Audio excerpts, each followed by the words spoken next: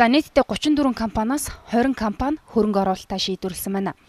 Нийт 1189 айлын газар буюу 62 га газрыг одоогоор чөлөөлөд байгаамаа. 34 компани 29 нь хэсэгчилсэн ерөнхий төлөвлөгөөгөө батлуулсан байна. Ингэснээр бүтээн байгуулалтын ажлууд эрчимжих бололцоо нэгдэж байгаамаа. Өнгөрсөн жил эхлүүлсэн барилгын ажилдаа нийтдээ энэ жил 4000 гаруй айлын орон сууц баригдаж байгаа юм. Үүнээс 2000 орчим айлын орон сууц энэ жилдээ ашиглалтанд орох товтой байна. За үүн дээр болохоор жижигхэн проблемтэй хэдэд асуудал байдаг. За энэ бол нөгөө уртлын ажиллагаан дээр ярьсан цахилгааны хүүсийн асуудал байгаа. Энэ бол одоо энэ тодорхойгүй байдаг. Өөрөө манай баяр дүүний 8 16-ад ерөөс баг гараа ажиж болдгоо тийм ажиллагаа байдаг. 3 хайг дөр даацсан байхгүй. Тэгээ бид нар болохоор өөрийнхөө хүүсээр бол дэтэпэн тавиад ингээ ажиллагаа явуулсан байдаг. Одоо тэргүүрээ тийж хийж байгаа гэсэн утгатай. Тэгээ цааш ер нь одоо ингээ ашиглалтанд оруулаа гэж яах юм бол энийг өндөрлөн өндөрлөлтөй асуудал байгаад идэв.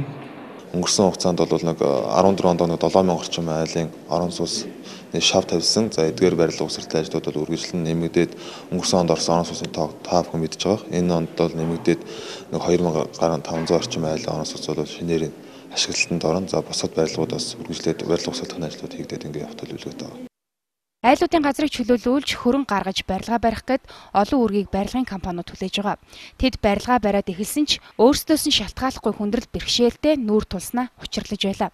Жишээ нь Баянзүрх дүүргийн 8 дугаар хороонд багнат өргөө компани бүтээн байгуулалтын ажил явуулж байгаа. А барилгын ажил явуулахад цахилгаан эрчим хүч хүрэлцэхгүй байгаа юм байна.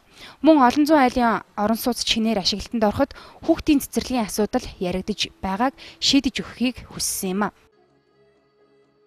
За бид нэг хөгжиж үзэж байгаа. Ингээд 15 онд ингээд 300 га байрлалын сууцтай болж байгаа учраас цэцэрлэгийн сургуулийн асуудлыг бас тавиад өгчүүл яад юм бол.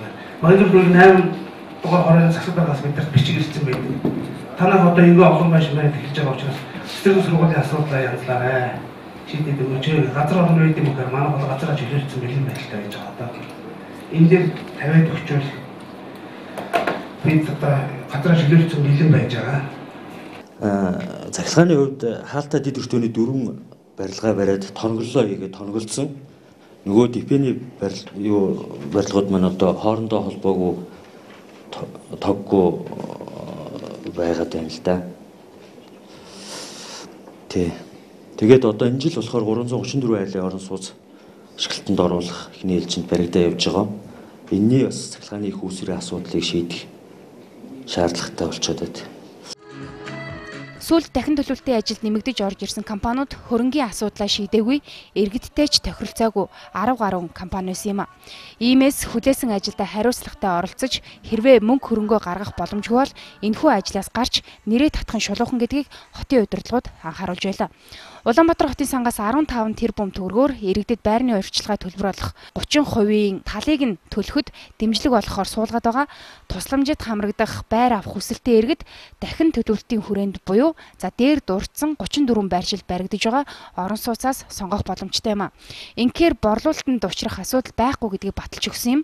Ийхүү дахин төлөвлөлтийн ажил цааш өрнөсөр байна.